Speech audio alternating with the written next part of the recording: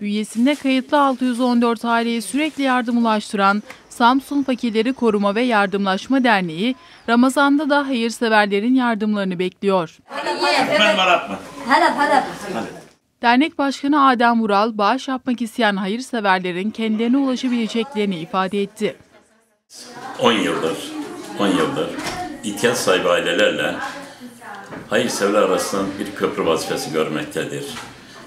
Her yıl Ramazan ayını iple çeken yoksul kardeşlerimize biz buradan hayırseverlerin vermiş olduğu gıda, nakit, giyim, kırtasiye gibi yardımları dağıtmaya devam ediyoruz.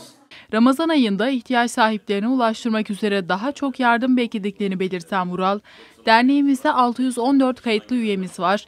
Bunlar arasında hasta, dul, yetim, doğal afet mağduru, eşi askerde olan ailelerimiz var dedi.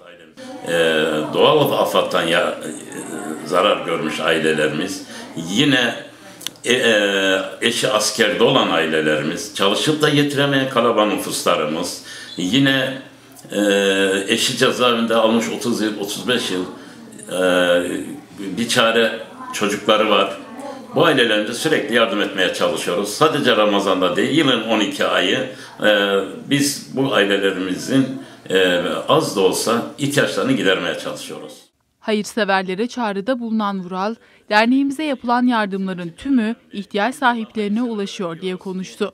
Fitre, zekat, oruç e, kefareti gibi yardımlarını verirlerse onların istediği yerlere ulaştırırız ve ulaştırdıktan sonra kendilerine de bilgi veririz.